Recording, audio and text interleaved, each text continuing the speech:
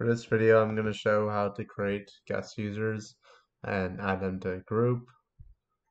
So we start off by going to Azure Active Directory, users, new guest user, and it's inviting them. So you put in, you just put in the email address.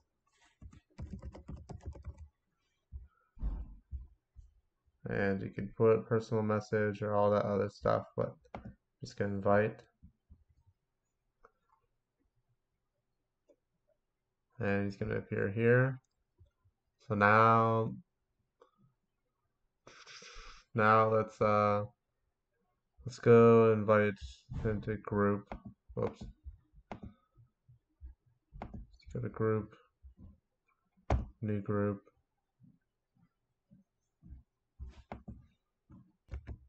And you know let's say what type of group type.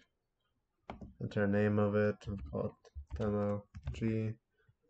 Put description azure AD roles sure. AD roles and then let's give it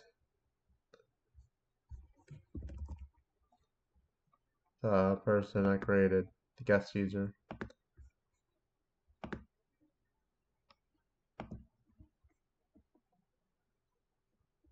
Fine, I'll just say that? Alright, it's great. And I already checked my email. I got an email, and you just click accept invitation. So there, that's how to do it. And if you ever delete a group or a user, you could always restore them within 30 days of deleting them.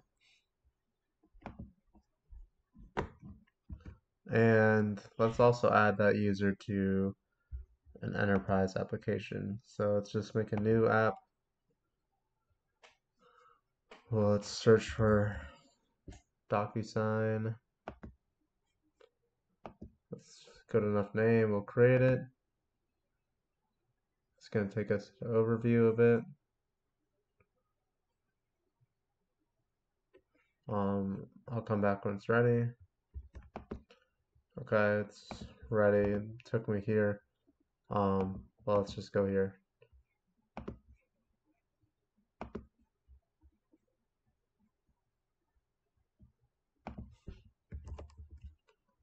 Let's search for it. Okay, it's there.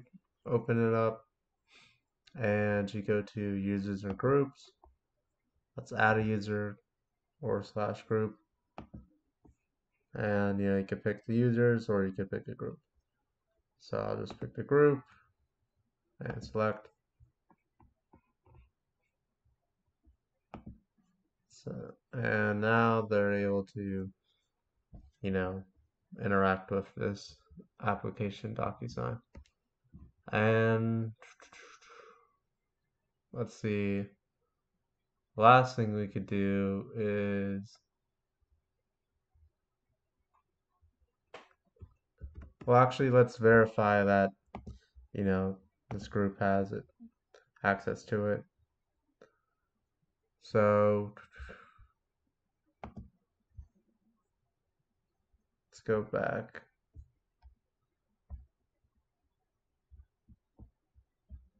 Enterprise applications DocuSign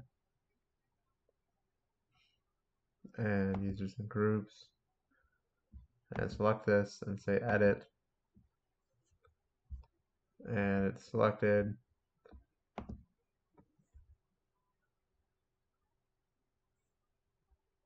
And so yeah, you can see that um,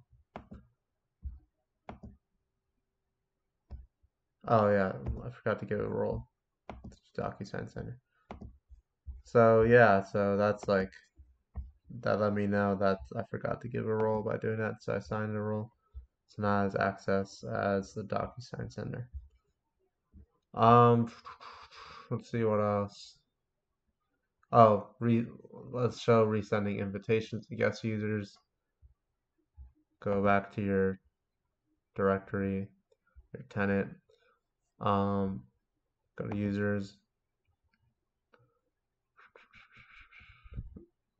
Select the user that you want. So this is the one that we did it and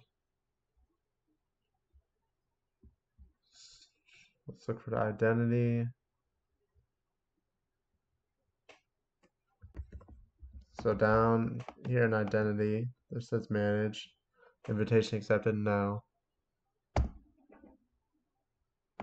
Click it, and you could resend invite.